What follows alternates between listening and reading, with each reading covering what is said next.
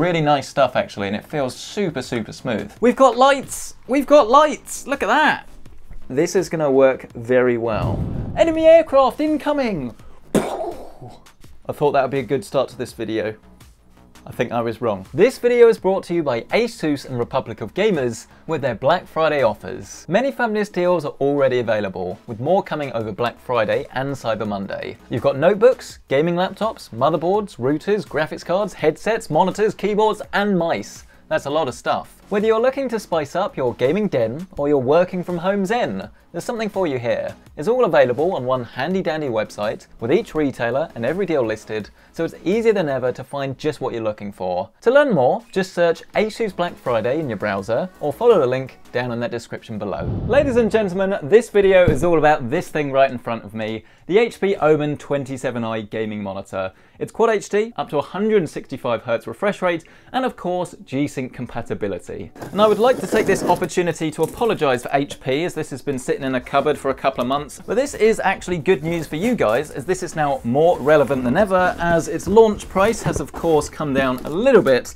And it's now actually available in a few different Black Friday, maybe Cyber Monday sales. Epic reveal, avoid the microphone and the lamp, our one-piece stand, and this is something that HP do really well. It is a little bit annoying that you have to use a screwdriver to fit this, but I mean, come on, that's really not a big deal. Which leaves us with the monitor itself, nicely packaged.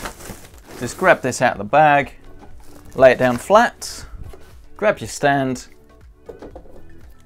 push that in, and then just a couple of screws to tighten at the back. And then you can actually bask in your new monitor's glory. It looks pretty premium actually, and I do like this new design language that they've gone with. It's not too dissimilar to what we've seen before, but there's not too much gaming branding. I think they've toned this down a little bit. You've got this new Omen logo. There is like a faux bezel inside this that you'll see when you turn it on, but on the whole, pretty good, and it should be pretty easy to line up in a multi-monitor setup as well. As we plug this in, we can see we do have a headphone jack, HDMI, display port, and then two USB 3.0 ports, USB uplink, and then a Kensington lock. Oh, we've got lights! We've got lights! Look at that! I mean, I imagine it's RGB, but at the moment it's like this white light. Again, looks pretty elegant really, doesn't it? Let's get this plugged into our ITX PC, and if you do want to see more information on this, you can find that video in the top right corner of your screen. This thing does have an RTX 3070 in it, so it's quite a good pairing really for this system, but there'd be absolutely nothing wrong for going for something either a little bit higher end or lower end. It's quite a flexible display really. Right out of the box, this is looking pretty nifty actually. This is IPS, we've got very wide viewing angles as well. So if you are looking at it off axis, shouldn't be a problem. But because it is one of those next generation IPS panels, it does enable us to get 165 Hz refresh rate, which is going to be perfect for high-end gaming. But also we should get reduced motion blur as well. Let's test that though. So here is Blur Busters' motion tests, testufo.com, and currently this is out of the box with no real overdrive enabled at all.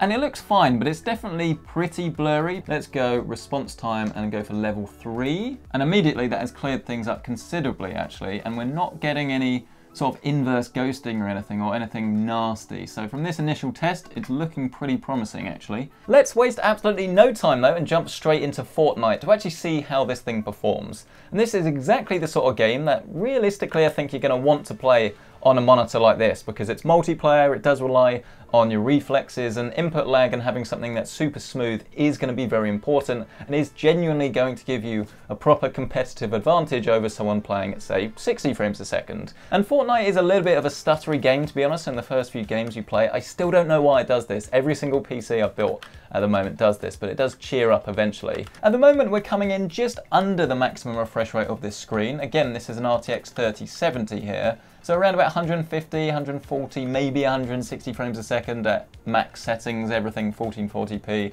ultra. Really nice stuff actually, and it feels super, super smooth. The thing is though, because this is an IPS panel, you're actually able to see all of the color really displayed on the screen in its true light. And yes, it's not gonna be a super competitive monitor when it comes to, well, it is gonna be a competitive monitor. It's not gonna be competitive with professional monitors for color accuracy. But what it actually means in terms of you, if we sort of look around and you see all of these bright colors, everything is vivid, pretty true to life, and it's not flat like you might find on a TN panel. And this was the main issue that I found with HP's Omen 27, the 240Hz version of this, as while it was a little bit smoother and was arguably a little bit snappier, not by much, but ever so slightly, you're always compromising a little bit on image quality. And I think for what most people use their PC for, having this is probably going to make a whole lot more sense really, especially bearing in mind that we're not getting 240 frames a second. Excitingly, this is also a G-Sync and FreeSync compatible monitor as well, where we go into the NVIDIA control panel, navigate to G-Sync,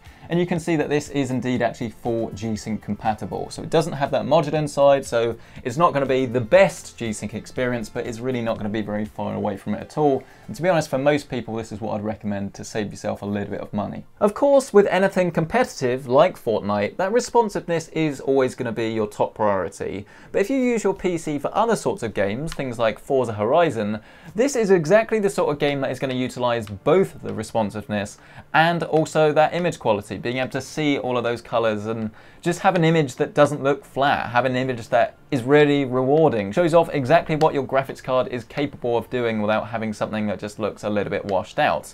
And while my driving may not be uh, the absolute best out there, to say the least, this is a game that it just looks fantastic on this display, it really does. And something else, particularly with a racing game, is that you can find that you get a little bit of eye fatigue or maybe some motion sickness at lower frame rates. Like, I can't really play racing games at 30 frames a second. It just makes my eyes go a little bit weird, to be honest. So to be able to play on a screen like this at 160 frames a second is a lot more comfortable, and I think I could play a much longer play session as a result. Shout out to the pink car, by the way. I know you've noticed. Hey Google, turn off all the lights. So you can consider this to be your IPS glow and uniformity test, you can see there's nothing really here that stands out as particularly drastic. In terms of uniformity, not really any big problems to report. You won't be getting one that's perfect, but if you get one like this, I think you'd be very happy. Let's do the G-Sync test, shall we? Here we have Gears Tactics, and this is running at around about 90 frames a second, but it's quite variable. I'm not sure why this game is quite so demanding, but it is. And any game that has a lot of panning or a lot of camera movement is always going to be quite susceptible to stutter and tearing. And it's definitely doing its thing because we can't see any tearing at all. In terms of stutter, there is a little bit, it's definitely not perfect. And this is where I think if you had a true G-Sync monitor, you might notice a bit of a difference, but this is a very extreme circumstance what we're seeing here. It's much, much better than you'd have if you turned it off. Our final game for testing then is Control, and the reason for this is because it's a very demanding title and something that you're not going to be able to get 165 frames a second on, especially if you're going to be enabling ray tracing. So here it feels like we're getting between 60 and 80 frames a second. It's super smooth and this is going to be prime for that G-Sync range to probably do its thing and keep everything nice and tear-free and stutter-free. The question is not whether that this is a good monitor, because it really is. It's very similar to a lot of its competition I think that's probably one of the main downsides. There's not too much about this that really makes it unique. The question really comes down to whether you want to go for a 16 by 9 monitor or not. This is going to be perfect for a multi-monitor setup if you have two 27 inch monitors, but if you want one monitor, for me personally, I'm not sure that this has the immersion, if you like, that I personally would be looking for. But there is a little ace up 16 by 9's hole, if that's the right phrase. It's all about these things, gaming consoles, because this is 1440p 16 by 9 and I'm going to wager that this is going to work very well. 120 frames a second. Of course, we do have the PlayStation 5 at the moment, letting us down a little bit, as it doesn't currently support 1440p. I'm not sure if it's 1440p in general or 1440p high refresh rate, but hopefully that will get a patch in the future. TV and display options, resolution 1440p, yes, that is fine. I would love to keep that, please. Refresh rate, 120 hertz. Ladies and gentlemen, we got him. Here we are then in Gears 5, 120 frames a second running on a console. In some ways it feels pretty normal to me, if I'm honest, because I've seen this many times before, but to be able to actually play this on a console that is making next to no noise whatsoever on a PC monitor, it fills me with joy. I'm so glad that more people are going to be able to actually experience this. It's fantastic. In conclusion then, should you pick up the HP Omen 27i? And the answer is mostly a yes. I think the main problem with it is that it's got a lot of competition that does things very similarly. My main advice really is just to compare this against the other monitors in terms of its design and maybe a couple of other features one way or the other, but then most importantly look at the price because there's no point paying more money for something like the Omen versus maybe the LG, but likewise there's no point paying more for the LG than the Omen. I have very few bad things to say about this. It is a absolutely fantastic monitor, and if you're dead set on 1440p, high refresh rate 16 by 9, then this one comes highly recommended. Once again, it is available in a sale at the moment, so if you are interested, you can find it linked down below with my Amazon affiliate links. But I don't want this to sound like I'm just trying to sell this monitor, because I honestly truly believe in 1440p high refresh rate is the sweet spot for everybody. And while it's not necessarily going to be the right choice for everyone, I think if you were to plonk a monitor on your desk, this would probably be the safest option to please everybody. But, you know, each to their own. A massive thank you for actually watching this video. If you have any questions, do let me know down in that comment section below. I would love to hear from you. Do get subscribed for more videos just like this, including plenty of more monitor reviews, PC builds, all of that good stuff. But thank you so much for watching, smash that like button, and I'll see you in the next one.